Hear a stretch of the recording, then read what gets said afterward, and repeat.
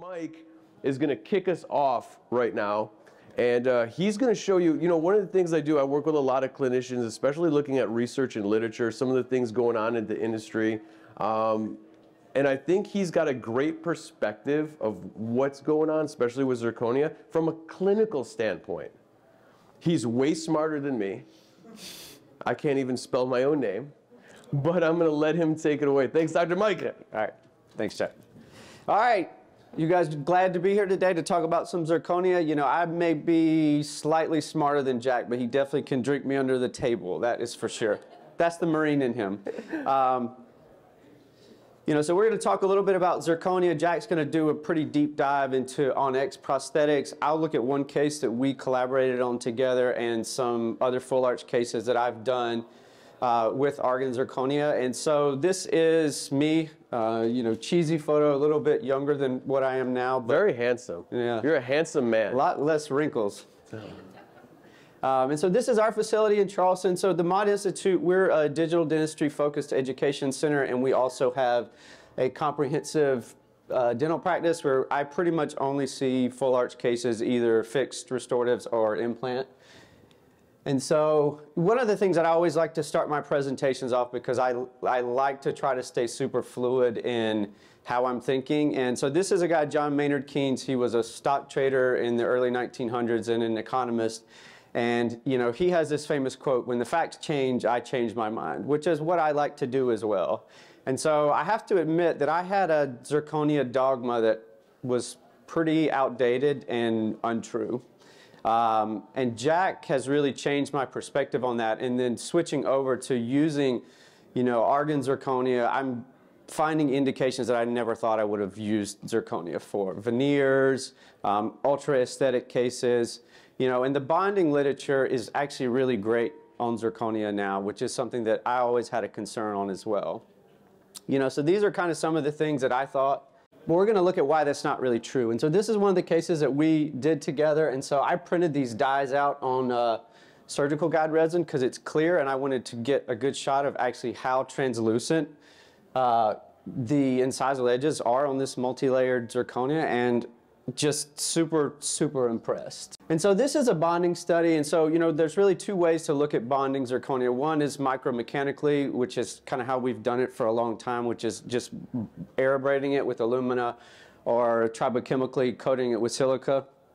And so they took some uh, zirconia, polyzirconia, and then they air abraded it with different size particles at different pressures, and they wanted to see if this affected the bond strength. And so this is super important. You know, we know 3Y is pretty much indestructible, but when we look at getting these more aesthetic 4Y, 5Y, we know that if you air them too much, that you can induce some tetragonal to monoclinic uh, transformation, which can weaken the zirconia and potentially lead to failures. And so what they found in this study was you could get pretty strong bond strengths um, with just the air abrasion. There was no difference between the particle size or the pressure, so that means we can do that a lot, you know, less damaging to the zirconia.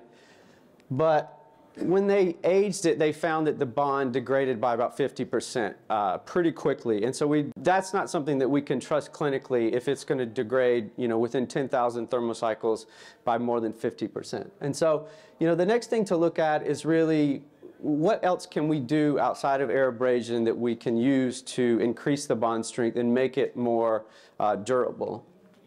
And so in this study, they air abraded first. Then they treat it with MDP, which is a monomer that the hydroxyl groups will bond to the zirconia themselves.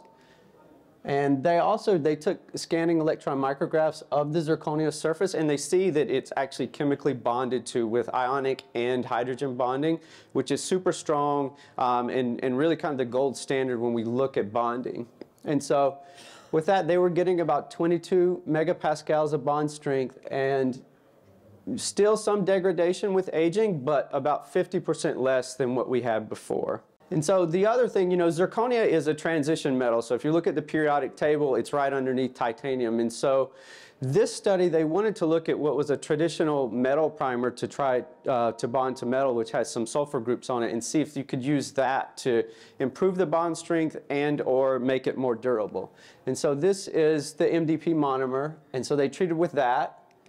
And they treated with this. This is VBATDT. Don't ask me to tell you what that word is. Um, but these sulfur, sulfur groups on the end will chemically bond to the zirconia as well. And what's really miraculous is they did a super long aging process on this zirconia, 30,000 thermocycles, and they found basically no degradation in the bond at all.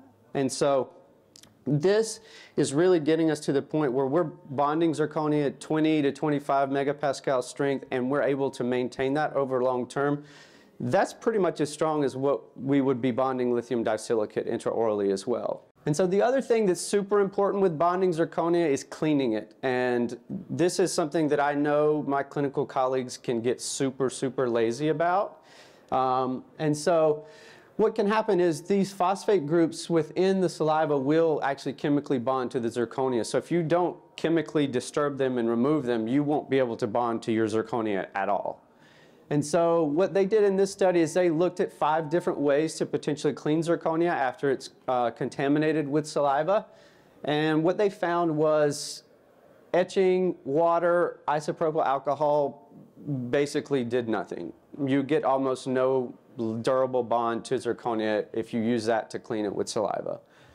But with uh, the two products up top, which one has zirconia oxide product uh, particles in it, the other uh, has MDP particles in it, is you're basically able to clean that zirconia perfectly, and then you can get a durable bond to that even after it's been saliva contaminated.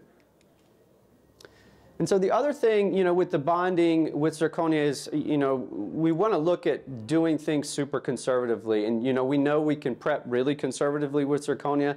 And sometimes I like to push the envelope clinically, and so as far as how conservative my preps are. And so when you look at the literature and you start to think, well, what if bonding zirconia, like lithium disilicate, we can provide some more strength actually to the material at ultra, ultra thin uh, thicknesses? And so, you know, this is a, a graph that basically kind of shows about the average number of newtons that we're able to apply to teeth um, with their max biting force.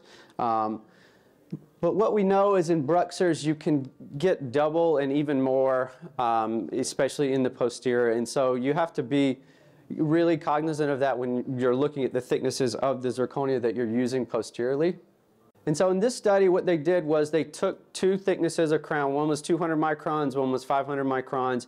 They put them on a fake tooth, and then they uh, tried to break them. They bonded them, and they, adhesive, uh, they adhesively bonded them, and they cemented them.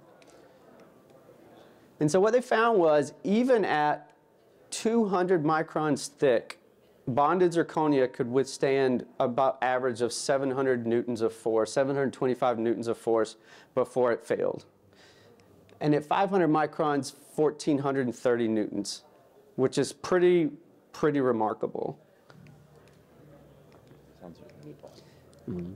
And so this is our bonding protocol that we use in our office. So we air abrade, we clean uh, after we've tried in, MDP, VBATDT, and then we use an MDP containing cement because we know there's also a dose dependent um, bond strength to zirconia by putting more and more MDP. Now they've never, no one's ever really tested the upper limits of that, but when you get up to like 1% by weight or even higher, you can pretty much get double what you would have at 0.5%. So our philosophy is the more MDP we can get in there, the better the bond strength that we're looking to get. And so let's look at a couple cases that uh, Jack and I did together. So this patient came in, this case was done by a really well-known uh, cosmetic dentist in our area. These are lithium disilicate. Uh, they were done, according to the patient, about three or four years earlier. And his complaint was, when I smile really big, I'm not sure what's going on here. And I looked at it and I said, shit, I'm not sure what's going on there either. Um, you know, so uh, obviously we want to help this guy out. And I want you to pay attention. We'll look at this at the end, but this lithium disilicate compared to what we were able to achieve with the zirconia, the aesthetics were as good or, or definitely better when you look cervically, but incisally. And so we cut everything off. Um, you know, the posterior restorations were fine, so we ended up leaving that to help maintain our vertical. Get our digital scan. We temp this case. Uh, these are printed temps, shell temps that we designed and had ready day of. And so that little palatal strap is our seating guide to help us hold the vertical for when we seat those uh, and reline them or intraorally. There's our temps in the mouth.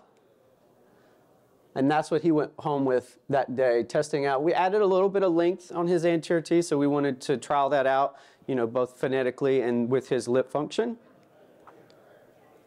And so this, this was a case we did with the STML puck.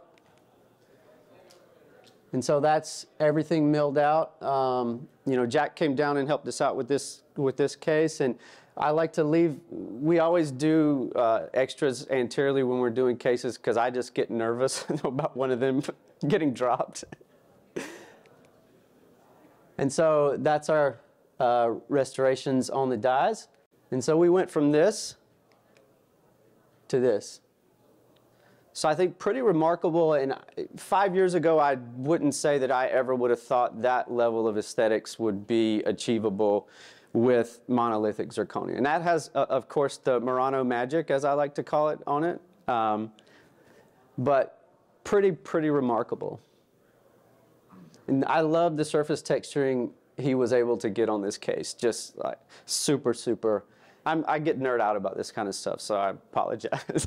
and so this is another case. So this is a, a really young lady in her early 30s, CrossFitter, uh, really super in shape, but a lot of parafunction and a lot of wear going on. And she came in, you know, her main complaint was, I feel like my teeth are getting really short. And so we know we're opening vertical in this case, so our first step is we use a VDO gauge to, and a, a facially generated treatment planning philosophy where we're looking at facial thirds analysis to determine aesthetically how much we want to open this vertical up. And so that's us, you know, getting our facial thirds analysis, um, setting the vertical with, uh, this is our version of a Lucia jig. It's catted out. You can download it and print it on our website. Um, what I like about it clinically is you can bond composite to it. So if I want to index it anyway, it's very easy as opposed to the plastic ones that you buy. Um, and it's cheap. It costs like five cents to print it. So, um, you know, if you use those, go to our website, download them, tear it up.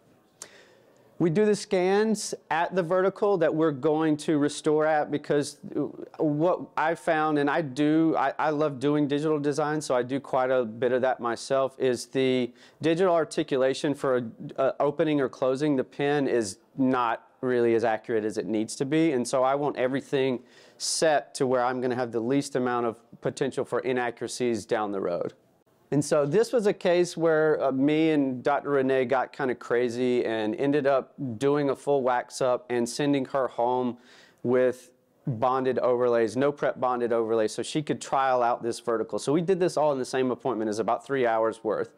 Um, but you know, just look at the aesthetic changes we were able to make in a couple hours for this patient. And so she, of course, came back two weeks later and yes, and was like, yes, I want to do it. Let's do it as soon as possible. And so this was a, this case we prepped pretty conservatively with some really conservative overlay type preps posteriorly. And uh, on the, on the lower, we ended up doing basically what is a veneer prep. And, you know, Jack is the one who really kind of got me onto doing zirconia veneers. And, uh, you know, I think you'll see with this case just what we were able to achieve. And so this is the uh, temps, the way she left the day of prep. So this is also an STML case that we did. That's everything milled out. And this is what she left with. And so you know, I think uh, just understanding digital design, you know, knowing kind of the checkpoints that you're looking for, you can do these types of cases super predictably in a way that, you know, is, is not scary at all. And so this is another case. This is one of my favorite cases that we've done together. Um, so this lady, she came to see us. She had had, uh, this was an inherited case, which I always love to do those. Um, and so she had had implants placed and uh, Onyx hybrids uh, restored at another dental office uh, near to us. And her complaint was, you know, I paid all this money. I don't know why he couldn't give me whiter teeth. So this was about a C3 or a C4 shade, which I couldn't understand why you would ever do a hybrid that shade unless someone specifically asked for it, but that's what she got. You know, there's some other kind of aesthetic problems here. She's got a reverse smile line. The anterior teeth are a little bit shorter than what they need to be. And there was a really improper implant placement. They basically are coming from the palate, so she had a giant uh, ridge lap on the prosthetic that was in place. So we took some fixture level scans and got some new custom multi-units made to move those uh, screw, screw access channels a little bit farther forward because we knew aesthetically we needed the teeth farther forward and I didn't want to make an even larger ridge lap, which she was already having trouble cleaning. And so then sent her home. This was the wax up that I did the, the day that we delivered the multi-units. Uh, you know, obviously looking back at the case, uh, canines are a little bit long, but sent all these uh, files up to Jack and his team up at Absolute, and we got some prototypes. Um, and so tried these in, you know, confirming that we have our implant locations correct on the scans and there's no inaccuracies there. We're trialing our aesthetics, we're trialing our phonetics. She absolutely loved these and probably would have been happy just wearing those, I think. Um, but get, get, we got the uh, prototypes in. This is a new toy that we've been using quite a lot in my practice. And so this uh, is a module which allows us to get digital data for mandibular kinematics that you can take into your digital design software. It has a direct integration with Exocad and you can export um, imprints that you can use in 3Shape as well. And so, you know, it allows us to capture chewing strokes. You know, we can capture, she's got a little deviation upon opening and closing, which doing that on a traditional articulator, you'd never really be able to replicate that uh, when you're designing those lingual contours of the, and the maxillary anterior teeth.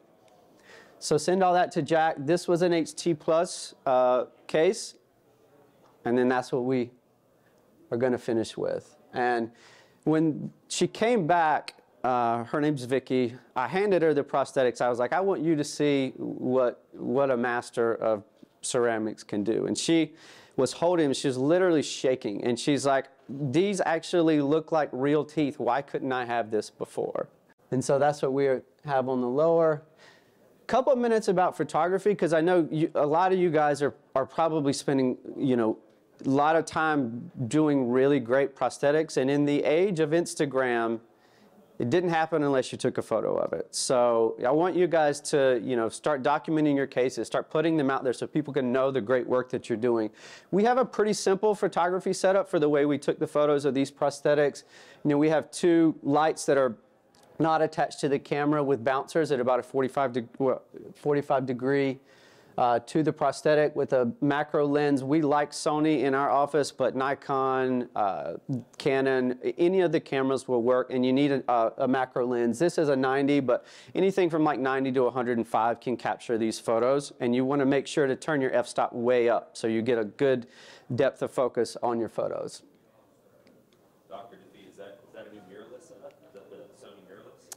It is mirrorless, yep the photography nerd on the front up here. Like it. and so that's where we finished. And so, you know, just going back to where she came in before, just huge, huge improvements. And so Jack teaches with us down at the Institute. He does a couple courses. One, this is a course focused mostly on uh, zirconia characterization, uh, green state, and staining and glazing. And they, we also do a blended course, which is more about digital design, um, and we do a little bit of zirconia characterization. So if you, you know, want to learn more, uh, come check us out in Charleston. Love to have you guys down. want to say thanks to Argen for having me, and you know, thanks for thanks to Jack as well. Um, and now he's got 300 slides to get to, so it's gonna, it's about to be burning. Thanks, Dr. Mike. I told you guys he was smart, didn't I? How awesome was that? Zirconia veneers is coming up all of the time, right? All of the time. So there you got a little glimpse of the data and what's going behind it, why you're seeing more and more zirconia veneers being prescribed. Because you can use them and you can bond them in, right? And we do. Of course, we have too much information and too many slides, and that would be, again, I think, Mr. Jeff Lothrop right here in the front row for this, this creation of his, which is the lecture from Doom. But let's get started.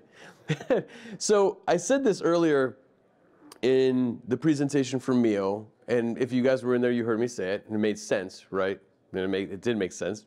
It was nice, huh? Isn't it great? Um, but I'm going to say it again because it's so true. There's, there's not a phrase that really looks at where we are in this point in time in our lives that describes what we're experiencing every day better than this. Everything's changed, nothing's changed. It's absolutely, positively true. When we look at everything and we're looking at systems and protocols and zirconia and technology, and we're like, oh, look at all the change. There's not, you're not doing anything different, right? You're not really doing, you think you are, but you're not. And you'll see that play out time and time again when we go through it. When we talked about Miyo today, we talked about layering ceramics and porcelain powder is dead. You're still layering exactly the same way. You're just using this instead of that. Everything's changed, but nothing's changed, right? Kind of makes sense. Like this case, so we're gonna do, just so we cover A to Z, you guys always still ask, uh, zirconia in the aesthetic zone, single unit centrals, monolithic zirconia? Yes, of course, all of the time. This is 7 through 10, there, or this is 7 and 10. Screw retained, okay? Screw retained, single units, full contour monolithic zirconia. Right? Can you beat that? Is there any reason to do anything else? No. No. All right, so that, that takes care of the small cases. we'll go to the hybrids because we have a lot. Um, hybrids are going through a cool transformation right now. You know, I don't really know where we're going to end up landing but we'll go ahead and take a look at a lot of it um, that's coming through. And a lot of you guys might be experiencing this right now in your laboratories. I'm kind of trapped and it's freaking me out. so we'll go through a quick case study. And you know, there's, and I'm going to talk about this a lot, but sometimes when you see issues with zirconia, the material gets blamed, but it's not the material. It's going to be the workflow, the clinical steps, the processes, and the laboratory processes that led to a failure somewhere, okay? It is your fault. Straight up. Or the clinicians, but it's not the material's fault. I've been doing this, I've probably put more of these in the mouth than, than anybody in my very blessed life that I've had. And I can tell you, if you see failure, go back and look in the mirror and see what happened, right? Because it's probably there. Prototyping, super, super important. You got to do it. More and more, you're just like, well, do we really have to prototype? Yes, you really have to prototype. That is one of the most valuable tools we have in restorative dentistry. We have to use it. It gathers all our information. It's a verification in the digital design. And once that's perfect, now we can go to making teeth. That is a bad day. Showed this one for a while. I talked about bad dental days earlier. Nobody understands what a bad dental day is unless you're a dental person.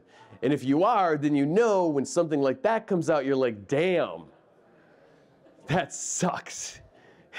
That's just gonna be like way more time that you gotta spend working on. Now, do they all come out like that? No, especially when you got open-ended milling. Bo's sitting right there, Bo milled it. That's Bo's fault. Look at the size of the sprue on that central. Bo! But it happens. It happens. And Jeff wanted me to talk about green stage finishing, and I'm like, really? Do you guys really want to hear it again? Because I've been teaching it for so long, but but really everybody still wants to. And it's funny. Somebody said to me recently, they're like, nobody teaches uh, green stage finishing but you. And I'm like, no, you kind of got a point. Green stage finishing, we got to take that, that Bo did, Bo's fault, we got to fix it up. Look at her in the back. She's like, oh my gosh. And we're going to turn it into that. All right, so if you go there's the Argen video when we did the green stage finishing live, right? And then I also have another green stage finishing video on YouTube. And I'll take you step through step of how I do exactly that, okay? On a smaller case, obviously not a hybrid. But if you go to YouTube, I think it's under the Absolute Talks and the, the Argen, you'll see me and I'll show you exactly what I cut it with, the burrs, the diamonds, the discs, the rubber wheels. I'll go through the whole thing, all right? Go through the whole thing. We're gonna sinter it, and then we're going to Miyo it. All right, it's kind of like my life's work. We were always fighting against something. We were missing a piece of the puzzle. It's all kind of come together now. So I'm very happy, yay. And here is our patient. Um, he's kind of rough, right? Obviously, there was hybrid surgery that went on. I didn't put all that in there. Uh, but we're going to go ahead and basically do all the extractions, slick them, chop the bone, drop the implants, let him heal, come back, restore him. So you just seen the restorative phase. And now he's all fixed up. Now, I talked about this earlier. It's a little bit lighter of a shade than I would have liked. I mean, he let me do some like rotations, and that's cool, but it's a little bit lighter than I would have liked. All right. He would have been really cool in like A1. He's not Florida man teeth, but he's close. He's on the borderline. All right. Who's doing Florida teeth right now? Anybody? That's sintered zirconia, straight up. OM1, don't stain them. Who's getting those in the lab right now? Huh? No? You guys are lucky because I get them all the time and I tell them, they're like, well, get some great pictures. I'm like, no, don't worry about it. And don't tell anybody I made those. all right, so, and of course, HT plus multi-layer. But look at the results we're able to get. It's remarkable. It's monolithic. Huh? It's incredible. I actually got a little bit of heat um, for going back and saying the porcelain powder was dead. I had one guy, I, I, don't have social media, I have LinkedIn, and then we have corporate accounts that do like my social media for me because social media is scary. Um, and the name of the presentation, and I've said it a lot before, is Porcelain Powder is Dead. And he came out and he's like, I am very skilled in the fine arts of layering ceramic powders, and I would disagree with you in that statement. And I'm like, oh, well, please come to the lecture tomorrow. Well, with all my skill and training, I just want to say Chicago's very cold and I won't be attending. you can't beat that, right? It's monolithic. It's awesome. And everybody could do this. I've told you guys for years. How many years have we been doing this? I tell you, I don't do anything special. I'm not special. You can all do this. All right? You can all do it. I don't have any like magic. Jack magic. Dr. Mike thinks it's Jack magic, but it's not. It's really not. Wow. So, I want to pay homage to the Catman. Um, unfortunately, I don't believe the Catman made it. Um, as you can imagine, he had some issues other than that. That's a real case. And we went through and told him there was going to be all types of issues with function and this and that, and he would hiss at the girls in the office. They're like, just give him fangs. Just please give him fangs. We've told him it's not gonna work. He doesn't care, just give him fangs. So we gave the Catman fangs. So this is a little just paying tribute to the Catman who um, I, I, I think he rests in peace now. There's our design. Green stage finishing, even cat fangs. So you guys weren't expecting that today, huh? How about that? Three for a loop. You're gonna expect something totally awesome and then you got that sintered, and this was one of um, our, our team members, actually, our team in the back, uh, that Abby did this case. She was like, I'm like, do you want to do the Catman case? She's like, no way. I'm like, you could do it. There it is, sintered. And there's her Miyo with the denture. Awesome. It is awesome. Now, we rushed it through the laboratory, okay? We rushed it through the laboratory. Obviously, he had, there, he had life issues. Uh, I think we turned that in like four days to get it back to try to deliver it, and we did, I don't think we made it. Uh, so, um, yeah, rest in peace, Catman. Moment of silence. But it's awesome. It's so awesome. Just remember that. I'd be like, oh man. All on X workflows. All on X. It's in every laboratory, in every practice in the country. It's like commonplace. It's standard of care. You want to know what? It's a good thing, right? It's also a bad thing because bad things happen sometimes. And that's where, you know, when we look at all on X is a clinical process, maybe it gets a bad rep. If we look at zirconia, maybe, oh no, I've seen failure. Because it's so widespread, okay, that we really have to work hard on the education front because everybody has these in their office. Whether you're a small general practitioner or you're a one-man lab, all the way up to the biggest lab in the country or the biggest group practices, these are everywhere. They've become standard of care, which is awesome because it's great. I want them. When I need to get something, why not? It's, it's perfect. No, well, I'm still good. I actually don't even have a crown. Can you guys believe that? Other than crazy cigar stains, no crowns. These are all mine. But the case comes into the lab, and what do you do? What do you do? I'm from Buffalo.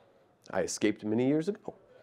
But if you're in Buffalo and you ask Buffalo people who has the best chicken wings, 10 Buffalo people, you're going to get 10 different answers, okay? All on X, restorative workflows and processes are very much like that. If you go to 10 labs, you're going to get 10 different ways to restore that case. And sometimes, sometimes it goes way in the weeds. And these cases, when they go bad, they go bad huge. And the recovery takes a long time. And ultimately, there's a patient strapped to the backside of those. So I've really kind of narrowed it down over the years to give you guys some tips to kind of keep that process streamlined and as efficient as po possible. Full face, full smile photo. I can't beat it up enough. It was Dr. Um, ah, Andrew Johnson. I almost forgot his name. So prosthodontist. He did a lecture maybe about six months ago I seen, and he explained what I've been saying for so long, the best I've ever heard it put. 2D photo, 3D teeth.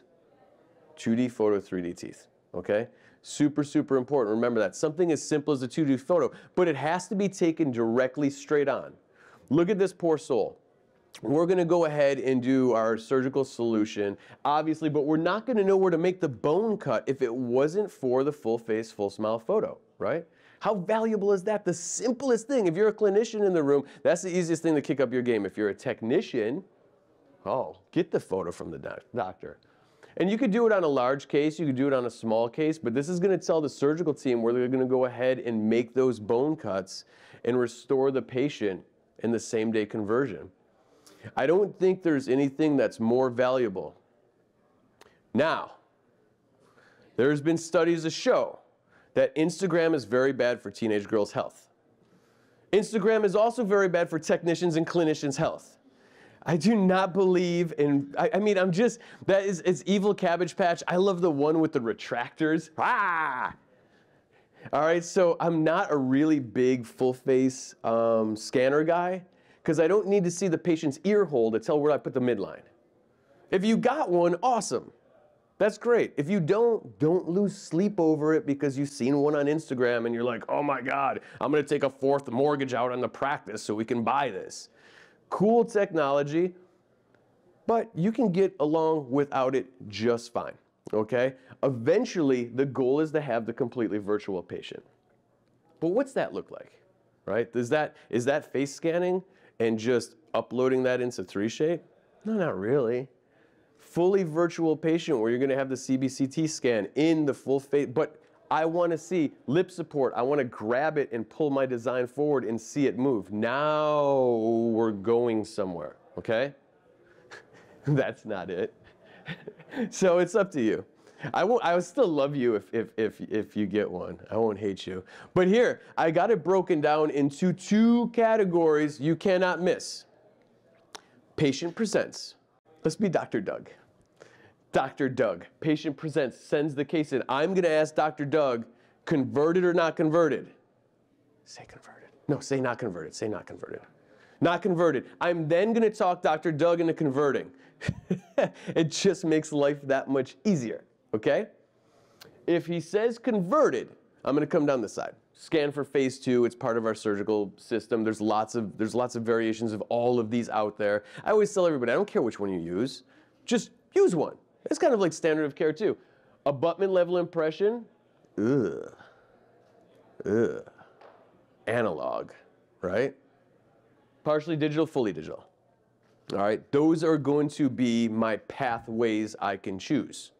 All right, if I go over here and he's not converted again, I'm gonna beg Dr. Doug, I'm like, please convert him. And he's gonna be like, no, that is a damn pain in the you know what. So I'm like, all right, you can scan the denture 360 degrees, send it in, let me know where the implants are. Or if Dr. Doug has a printer, put five millimeter holes over it and put a little tab on it. He has a nifty custom tray. You can go ahead and pick up your transfers and take a bite over the top of it and send that in. And that became your master record. Pretty nifty, huh? Pretty nifty. And then if you don't want to do that, then it, yeah, it just sucks. You're going old school. You're getting a bite rim. It's going to be nasty. And it's all in the details. So I have been just, my whole life has been prosthodontics, right? My whole entire life. Um, and I've learned all of this the hard way and, and have had my ass chewed many a times. That's why I don't have one. It's right there. It's truth. All right. So it's all in the details. The best restorative doctors of all in X cases are actually the best dentures, denture doctors, removable prosthodontists, because it's all in the details. Incisal edge position, midline, can, gingival architecture, tooth shape, overjet, overbite. Take the full face, full smile photo, right? Gingival architecture just as of phonetics, intaglio intimacy, and more. That's just the start, okay? Because this is where we run into problems. Imagine, I see a lot of these. I have for my whole entire career. That's an RX for a double jaw case. And then we wonder what the heck is going on here, right? This is crazy. Are you serious? Please fabricate new try-in, thank you. And, and I blocked out his name because I'm a good soul. You are not gonna get that result. That was the art team did that. That's not a jack magic. The art team made those right there. I didn't make those. You're not gonna get that from that. I can promise you. But I got another one. If you see my RX, it's like blank, it's just a bunch of lines. It's to fill things in, right? It's put information and data. It's so very, very important. Like this. So I got this one. Process these biatches. Shade BL4. How awesome is that? And we wonder why sometimes we run into some issues with all on X, right? We run into some issues with all on X. Analog, not, oh, wait. I wasn't going to cover it, but some things recently have been brought to light to me that, that I want to stress on. This is incredibly important.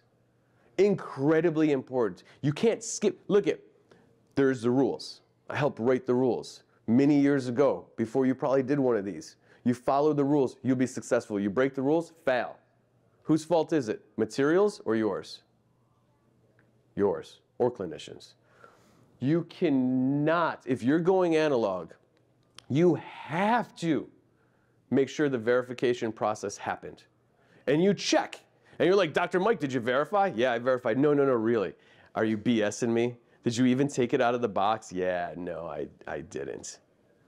Call a patient back. Call a patient back. I'm now recently here, and we're going to talk about Argen's bars they're doing. It's a great solution for something, a fantastic solution for something, but not for what you think.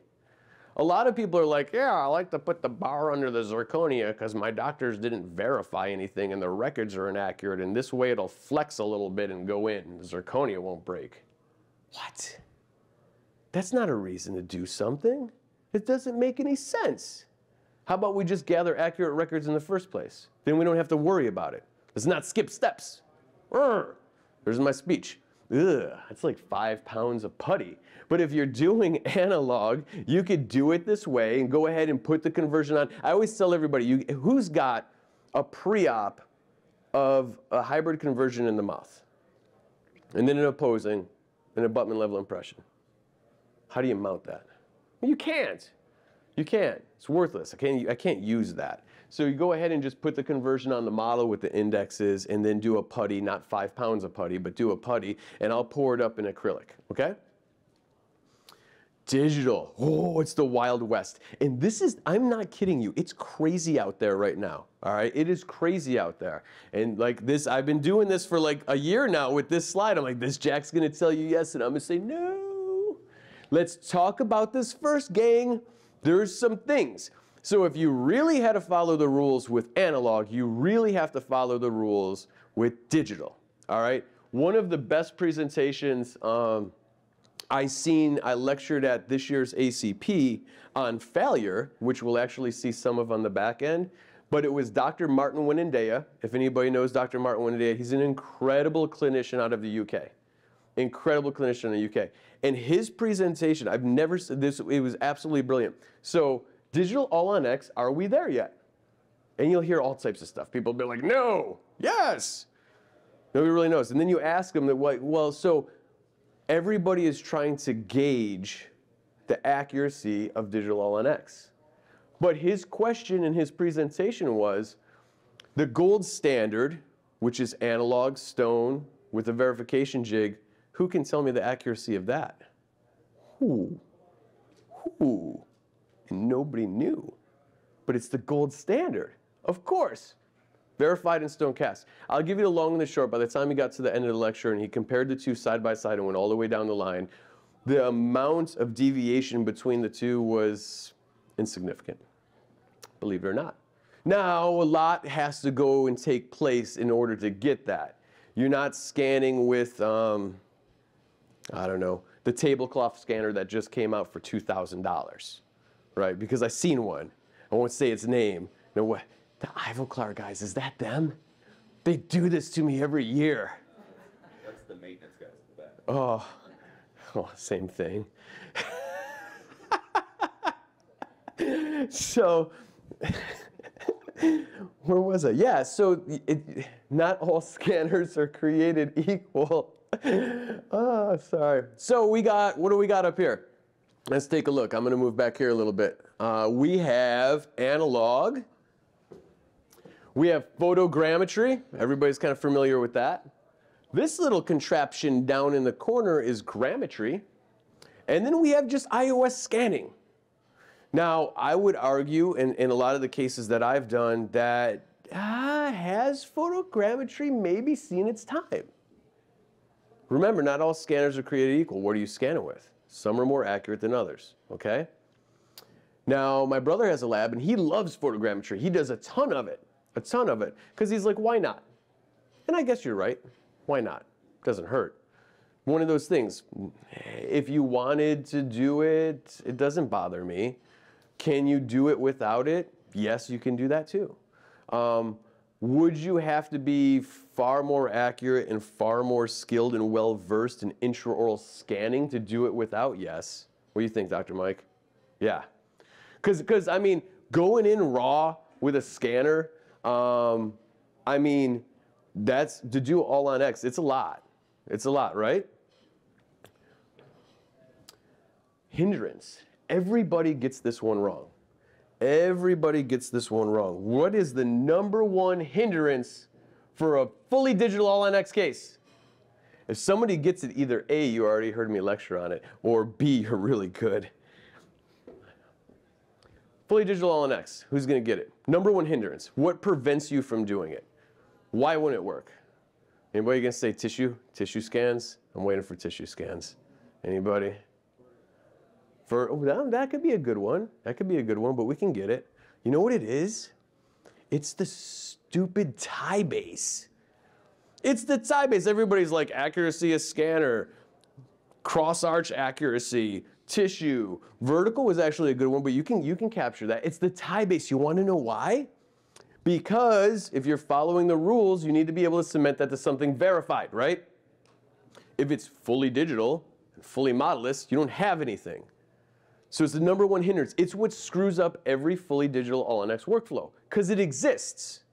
Because it exists. So now we're going to look at some options, okay, so that we can simply take that out of the equation. And when we do, ooh, amazing things happen. So let's check it out. The kind of sorta. The kind of sorta. So this is the patty technique. Has everybody, anybody done this? Hmm? Anybody else? No? Oh man, awesome. This is what I recommend to most to everybody. I recommend the patty technique the most to everybody because it's the simplest to do and it's like 99.5% digital. It always works and it's super accurate. All right? It gets rid of the scanning itch. It gives you a place to cement your tie bases. So, and I'm a ceramist. It really sucks. But, you know, one of the big you know, positions or goals of any technician was become a ceramist, right? Then it was CAD designer. Do you know what it is now? Data file guy, data file technician. These guys are freaking amazing what they can do. Data, data collection, and data handling is the most important thing in a dental laboratory today, hands down. Sorry, ceramists back there on my team. But I got a guy, he's absolutely brilliant. I don't even know how he does it. Grabbing this file and importing, exporting, re-uploading, moving, pinning, exporting back out, re-importing back in. It's insane. And it's every day in the laboratory. We have two guys that sit there and do scan data files all day long, stacking and merging. That's the new hotness in a dental laboratory. And you guys should prepare yourself for that because it's a language I do not speak. That's why they're there. So what you're going to do is you're going to use the conversion, you're going to pour a stone base. So take the conversion out of the patient's mouth, put analogs on it, take a base former and some stone and stick it in there. If you do a soft tissue, it's nice. You'd use like PVS, or if you have gingival moulage, put it on there, stick it in there. It's not fancy, it's ugly. That's a fancy one, ignore that. Once it sets up, you could be like a number eight round burr, go ahead and put a bunch of polka dots in it, okay? Carve a smiley face or your initials. You could do a little heart to me. And then scan it. Scan it on the ugly patty, okay? Then take it off the ugly patty and put it back in the mouth. Let's say Dr. Doug is treating our patient. Our patient is all going to be maxillas today, and his name's going to be Bob, just to make my life easy. So Bob, all right, so Bob, it goes back in the maxilla. Scan the maxilla with it in place. Scan the lower, scan the bite. Take the notes of changes to be made, full face, full smile photo, send that in with the patty, okay? With the patty. Now, this is where these guys come in that I'm talking about, these little data gurus in the laboratory, data technicians, data dental technicians. Do you like it? You're not helping. You know, you're no help to me. So what you're gonna do, when you notice we didn't scan the abutments with scan flags. Hmm? The hardest part of the process we completely eliminated. So now what are we gonna do? Well, it's gonna come in, we're gonna put tie bases on, because remember, that conversion should be passive. If it's not, don't worry about it. I got a solution for that too. You're gonna go ahead and put uh, tie bases on it. You're gonna scan it in, benchtop scanner, okay? Now, this is where the guys come in. Remember, you scan the conversion on that ugly patty. and you scan the tie bases, you're gonna put those two files together. And once you put those two files together, now we got to get it into the intraoral cross, uh, cross arch mounted scans. You're going to use the conversion to align it back in the mouth. When you're all done, all there is in the pan is going to be the patty and nothing and your prototype or your final hybrid. It works super easy and it's super accurate. So I highly recommend this one before everybody wants to go commando with um, scanners. Now this is Dr. Chochlidakis uh, paper and Dr. Papaspyridakos. Um, and I'm very proud when I pronounce his name because it took me like three months to get. And actually, Dr. Chochlidakis was here yesterday. This paper is remarkable. It just came out this past summer. Digital versus conventional full arch implant impressions, retrospective analysis of 36 edentulous jaws. Let's just skip to the conclusion. The 3D implant deviations found between the full arch digital and conventional impressions lie within the clinically acceptable threshold. No statistically significant difference was identified between maxillary and mandibular jaws in terms of 3D deviations. What's he saying? It's the same. There you go. How about that? Thank you guys for that great paper. Remember, everything's changed, but nothing's changed. This is Dr. Mark Ludlow's scanning protocols for digital all on X, okay? It's super, super important that you adhere to these. Now, I had a good uh, friend of mine that's a clinician. I actually call him Dad. His name's Dr. Barry Goldenberg. Uh, he's a prosthodontist, of course. Um, and so he did one of these, and he said, that was a lot of scans. Do I really have to take that many scans? Remember, everything's changed, but nothing's changed, okay? Yes, you have to take all those scans. If this case came into the laboratory, what are we gonna do analog? We're going to scan the cast. We're going to scan the opposing. We're going to scan the bite. We're going to scan the pre-op. The same amount of data has to be collected. The only difference is Dr. Mike is collecting the data instead of me. But you still need it. You can't skip steps. He's like, oh, which one of these can I just not do? I'm like, none of them. can I just not pour up your impression next time and make it work? No. So you gotta collect those. Super important. Totally modelless, totally digital. Let's look at some options. Powerball, Rosen Screw, La-Vie. What are they? Who's, who in this room has used one or all three of those? Who else? Yeah. Curious, what's your thoughts? Did it work? It worked. It worked. Did it work? It worked. Interesting. Interesting. So, it does work. Um, I have been dabbling in two of those three systems. And what it is, in a nutshell, is a DME file, a scan body, and a screw. That's the entire system. And what you're doing is you're milling and going directly to the multi-unit abutment interface. No tie bases. Why do I like that? And why are these being pushed so hard in the industry? You will hear them over and over and over and over and over again. It's getting beat to death. Why? Because it eliminated what? The tie base. What did that bring us?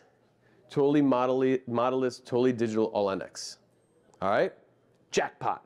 Now, let's talk about literature. There is none. What's going to happen? I don't know. I could tell you from my successes to date, it has been fantastic. It has been fantastic. It's been very accurate, and it's it's given me something that I want or where kind of the industry is driving for is a digital modelless all NX. Okay, and it's worked out exceptionally well. What does that look like five years from now? I don't know. I don't know. And we're probably not going to see any data or literature out on it because obviously we're outpacing that stuff right now, okay? Um, but I can tell you, Nobel was milling to the multi-unit abutment interface for how long? A decade, at least? This is not new. It's not new. Everybody's like, oh, I don't know if I want to go to the multi-unit abutment. Well, it's, it's been happening whether you did it or not, so it's not new. Um, I, have you seen any research papers on it? I can't even find one on the Nobel process. Um, I've looked. One of the questions comes up, and this is where we are at the, the industry. We're kind of looking at disposable dentistry, Dr. Will Martin told me, and I really liked how he said that. Like with the digital dentures. When it wears out, throw it away. Right in the garbage. You print a new one. You don't have to gather any records. Disposable dentistry. Kind of the same thing with the Zerk. One of the questions comes up is, what about fretting? I don't know. It's going to happen? Maybe. But you know what everybody's coming back to me and telling me? And these are actually like kind of, I mean, a lot of pro, in the prosthodontic community. I would rather replace a multi-unit abutment every five years than constantly re-cement bonded tie bases and deal with the hassle and headache. And oh, by the way, it gives me a fully digital modelless workflow. So the idea or the concept of throwing away a multi-unit abutment that may have experienced some wear and replacing it with another multi-unit abutment five years down the line does not hold enough weight for them not to do it. You see where I'm kind of going with that? It doesn't make sense. The benefits of doing it far outweigh the benefits of not doing it. And that's kind of what it looks like. So the Rosen screw is a taper and the Powerball is over here. You see this? You got about like two millimeters of material as an interface between the top of the multi-unit abutment and the bottom of the screw. Obviously, because you've seen that tie base I showed you guys, what was that, maybe two tenths of a millimeter? You could not torque down on that if that was zirconia, because you would snap through. This is what it gives you, that big chunk, and that's what you torque down to. Rosen screw, you don't torque. You don't torque, hand tighten which is like almost like 15 newton centimeters anyways. I mean, I'm not very powerful, but you kind of get in the range. And the Levi, is it Levi? Ooh, sounds very French. The Levi um, is like a combination of both of these. It's kind of neat. It's kind of neat. But here's three. If you didn't know, and this is new to you, here's three. The Levi is, is the newer of the two. There's three systems already on the market right now. So you see where this is driving. Um, that's the issue right there. That's too thin. You can angle correct the power balls. And those are little Powerball scan bodies, and we'll go ahead and kind of trace around and, and do the scan. I got a haul. And sometimes if you're having trouble getting the track, you do a little ortho chain on there. Boop, boop, boop, pop it around a circle. It'll pick it up. Look at that. Look at this tori. Oh. Oh, those are nasties, huh? so go ahead and uh, you'll see this is Primescan, bam, jumps right on there. comes into me, we design it, happy patient, powerballed. Okay, it's weird when the case went out, so I prototyped them, right? Case came back in, prototypes were great. Go ahead and just remill the old file, remill the old file, send it back. The pan is empty. There's nothing in there. There's not a giant SAM 3 that weighs 12 pounds because of plaster. It's just two hybrids. It's actually kind of remarkable and more efficient in the laboratory. You want to know why? When the case comes in, it doesn't have to go to models, and then it doesn't have to go to mounting, and it doesn't have to go through that login on the analog side, right? Then gets scheduled out, soft tissue, analogs. Now the case, Nathan's smiling, that's his job. Now the case comes right in and it goes immediately into design. I can cut a week off my turnarounds because I eliminated all of the model work and processes beforehand. Ooh, now we're getting more efficient. So very cool, keep an eye on it. This case with dad, um, he's not here today. I hate that, lost without him. But we're not done yet. So this was the denture in the FP2-ish provisionals on the lower. Uh, they're three separate bridges. When we deliver this, I will update you guys with the photos so you can check it out. But he did that all in one appointment, and it was completely passive. Pretty neat.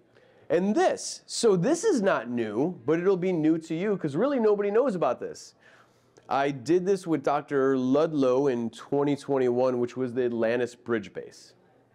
When they first told us about it, they said, oh, that's going to be really cool. I'm like, I think we almost, I can't speak for him, but we were kind of in unison. That's the stupidest thing I ever heard. Because we're not bar under zirconia guys, right? So Dr. Mark Montana, at the same time, argued. He said, I am. And I said, why? And he said, because in my practice, I have patients coming in all the time that I have to fix and repair from bad, broken Zirc. Hmm, interesting. Did you restore it? No. They come to me to fix the mess. like, oh, did I make it? He's like, no. So, I would argue, is it a material issue or is it an education issue? Huh? Because somebody did something they weren't supposed to somewhere. But we're going to blame the zirconia. Mm, I don't know if I'm buying that, guys. Not really buying that. And shoving a big band aid up it is not a way to, to justify it or fix it. All right? But I'm going to tell you what we are going to do. What we are going to do. So, we're going to remember, we're going to get the tie base is the biggest hindrance to the All on X workflow. All right? and I'm looking for a way to remove the tie base. What does the bar do? So you can't individually cement six tie bases in a hybrid freehand. I would highly recommend against that. At least you shouldn't, right? If you do, just don't tell me. I'll still love you.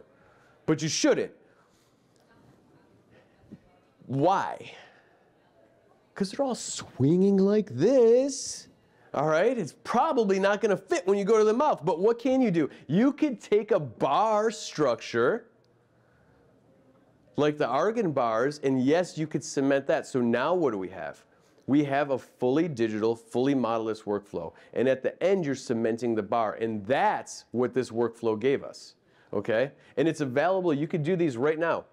Here's the patient she presented. Obviously, Dr. Ludlow did a ton of surgery on her. Here's the scans. Important areas to capture. You guys must make sure your clinicians or yourselves that you're capturing these important areas, the facial tissue, retromolar pad. If you go back to the retromolar pad on the first scan, you must go back to the retromolar pad on every subsequent scan after that. Wow, somebody get me a beer. but you're gonna do it every time. And this, all right, so dentate scans. This was Ludlow, Renne, et al. 2019, 2020, 18 microns cross arch accuracy, dentate. Right, there's this paper. For implant cases, 43 microns cross arch accuracy. I'm still good, right? 43 microns cross arch accuracy for implant cases. Again, Renne Ludlow et al. 2021. Those are pretty good numbers. Those are pretty good numbers. And that's not with photogrammetry. All right? So this study comes up and it's interesting. And the, it, this is like one of the, only one of a kind, the, the Jokstad study, right? So the Jokstad paper, and it's old, from 2015 that said you could have up to, it's over here, you could have up to 100 microns of misfit and still maintain passivity. It's kind of interesting, right? That's a lot. That's a lot. There's not another paper out there that's like that, though. Here's what the cross mount scans look like. And this is the modular. So now, I don't know if I are you guys are you guys. I don't want to because I always mess you up, and I feel bad now. You print new dentures, right? Yeah. Can you do it? In May. In May. All right. In May, they will be printing what, Jeff? Lucitone print dentures you could send to Arg- Arg- Argen. Um, so you could do the same exact thing.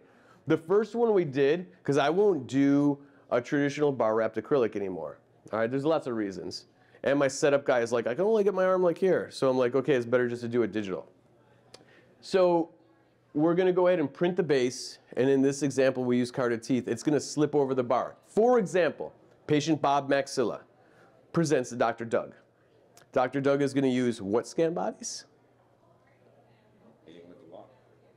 Argen's doing that. There you go. You're going to put them in. You're going to scan them to there's multi-unit abutment. It's got to be loaded to multi-unit abutment. It's got to be converted. Scan it.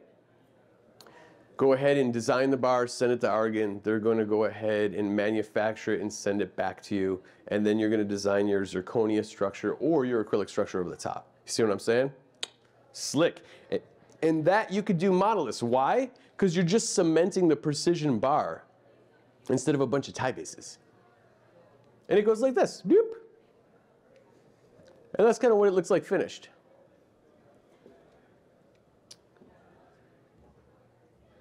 And that's what it looks like in the mouth. Check this out. That's two appointments. So she came in for the scanning appointment, and she came in for the delivery appointment. There's the fit. Whoa. That's crazy. And it was fully digital and it was fully modelless.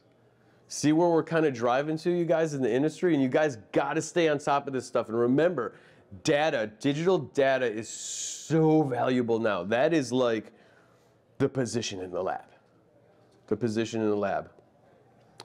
Tuberosities, go ahead, get your scans. Dr. Ludlow will go ahead and run articulating paper through so you can go ahead and make sure that those scans are aligned properly the way they should be. Here's our design. Ooh, zirconia.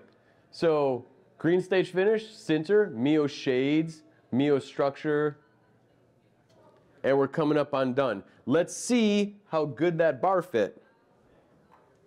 Oh yeah, there's some this there. Touchdown. Perfect. That you could cement by itself all day long. And they could make the bars for you. Okay? They can make the bars for you. Remember the scanning protocols, get all of that information in, get all that data, design your bar, send it to them, you get the bar back, then go ahead and do your zirconia. Bam.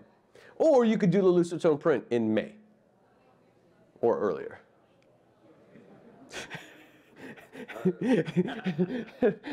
He's mouthing me all types of terribleness right now. Um, we have a long history of doing that stuff. But yeah, you can go ahead and send if you want an acrylic. It's like your modern version of bar wrapped acrylic. Design the base, and you could use printed teeth or carded teeth or milled teeth, whatever you want. Put that into the base and then the base over the bar. It's like a sandwich. Very cool. And because it's archived data, archived data, if you do need to retread that patient down the road, just reprint the file. Now, I would only do Zirc, but if there's a reason you want to do the acrylic, you can with that same technology the guy's got. So a lot of people don't think of doing that, like putting the sleeve over the bar like that, but you should. Yes, sir.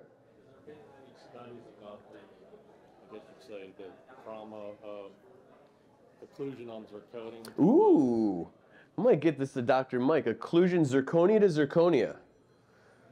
No. Yeah. Very little data. I can tell you there's nothing that says it's detrimental and there's nothing that says it's beneficial. So that didn't really get you anywhere, but there you go. And let's see. We are going to make it, which is insane. Uh, there's so delivery. Yay, was a little funky right here, but he said, you remember, he said he bumped that and everything went, just fell right in place. Everything nestled in really, really nicely. That's insane because when I delivered it to him, I delivered it to him on a hybrid in a box and nothing else with the bar cemented. Hmm?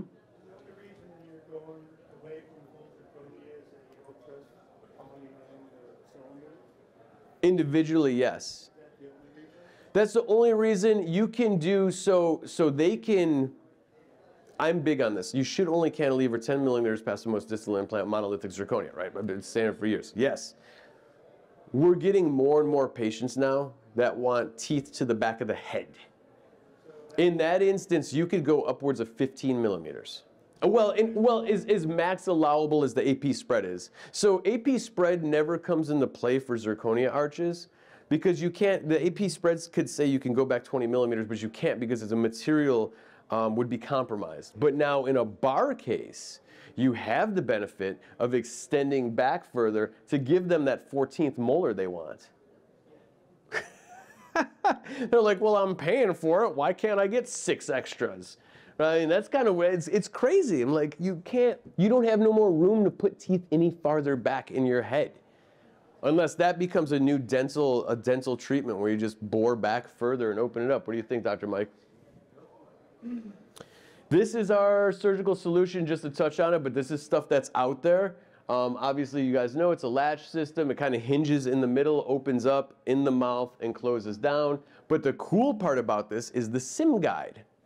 So the SIM guide goes onto the bar, the base guide. All right, this is our patent pending device.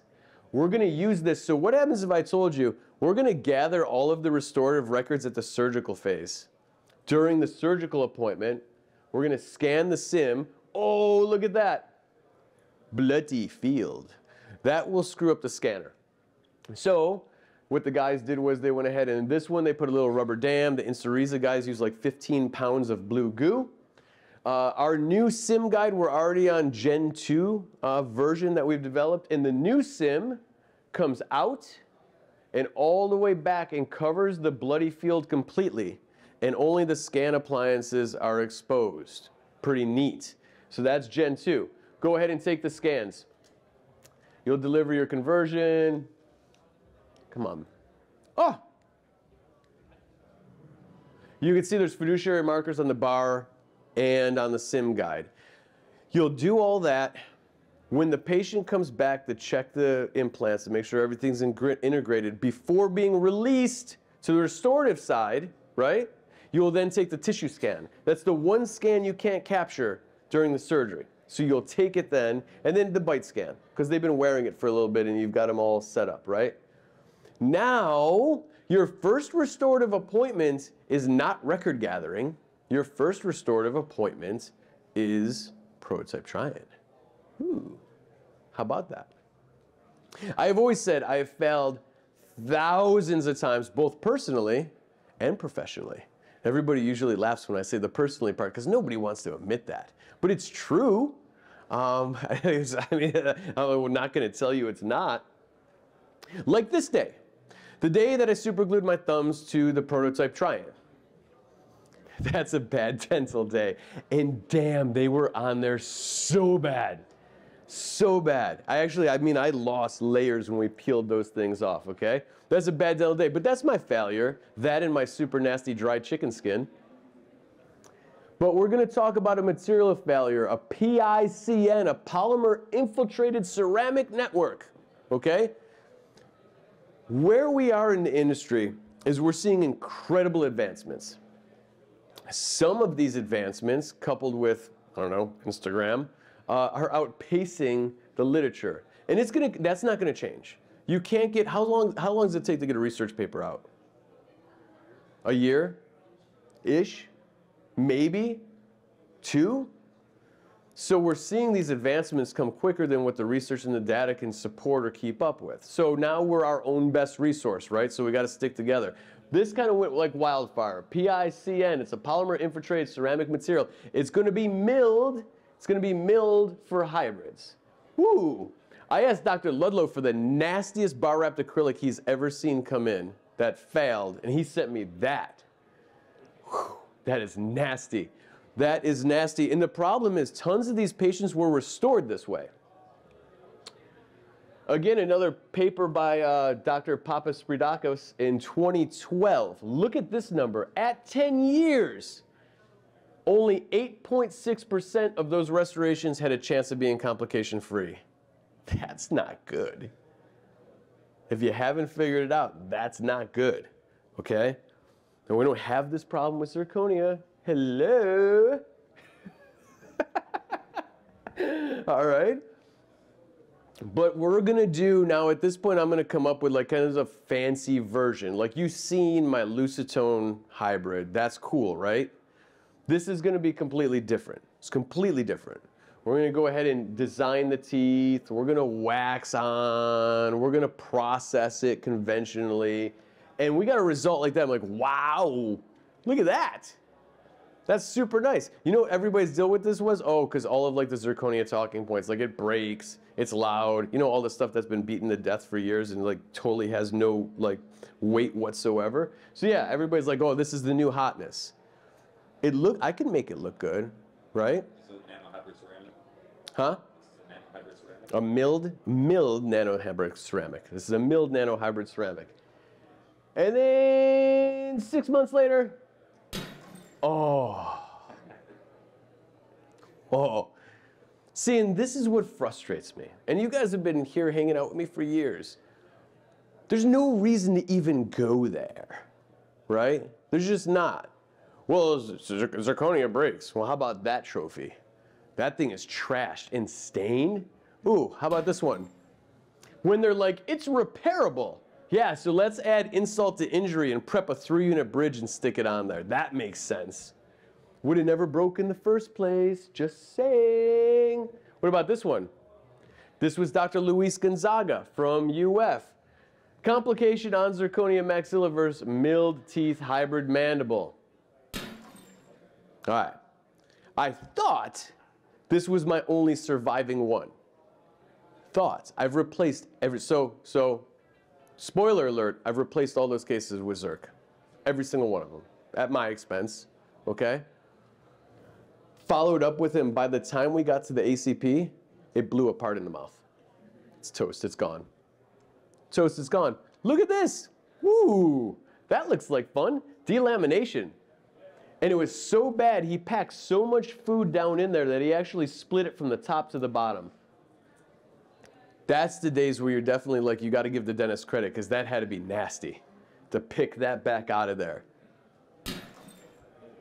This one, delamination. This one, whoop. How about here? We'll make the bar out of metal. That'll work. Oh, fellow technicians and clinicians are reporting similar failures. You were waiting for the sound. Here it comes. Look at the staining. Look at this. It's repairable. That's my favorite. It's repairable. With some GC pattern resin. That's nasty. Come on. Like this, I did not make this one. This one came into me to remake in zirconia, and I'm like, are you serious? This can't, are you serious? That's terrible. Oh, not good. It's, it's- worse when you hit it with the steamer, it warms up. How about this one? Maybe the metal bar structure is under designed. Let's do like Montreal style. That'll work. Nope. You see where I'm getting at? Sometimes everybody gets a real rock for wanting something that's not zirconia, right? They, I mean, it's like it's it's you're it's cool to hate the zirconia, right? Why? It's the best restorative material we have, hands down. Is it perfect? No, no, it's not. Is it the best? Right now, it is. Until you come see me and Jack tells you otherwise. Yes. The recovery for all of those cases was zirconia, which is what they should have been restored in in the first place. Okay? What they should have been restored in the first place. TheModInstitute.com. If you got any questions for Dr. DeFee, um, especially on the zirconia bonding, he covered a great amount of information. There's Dr. DeFee at TheModInstitute.com. Of course, you guys know where to find me. I see? We made it with like 10 minutes to spare. Oh, thank you guys so much.